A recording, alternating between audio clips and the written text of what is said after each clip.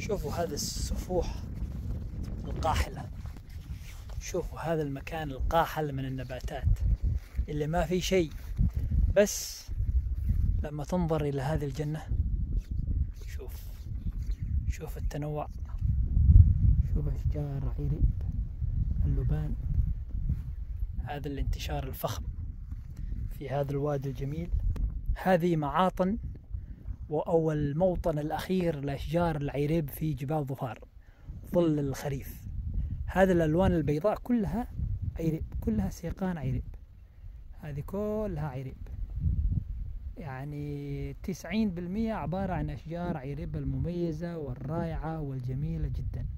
لكن فقط تخرج من هذا الوادي فوق منطقة قاحلة. لكن شوف الأودية كيف توفر كيف توفر تنوع حيوي منقطع النظير.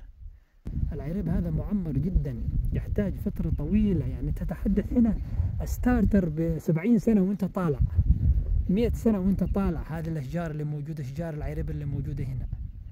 يجيك واحد بيسوي هنا محجر يقول لك اقتصاد وطني. أي اقتصاد وطني؟ هذا هو الاقتصاد الوطني. هذا الاقتصاد الوطني الحقيقي.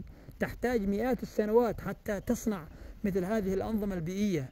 مئات السنوات خلقها الله سبحانه وتعالى بهذا الجمال وهذا الإبداع ويجيك واحد عنده كسارة يقول لك اقتصاد وطني.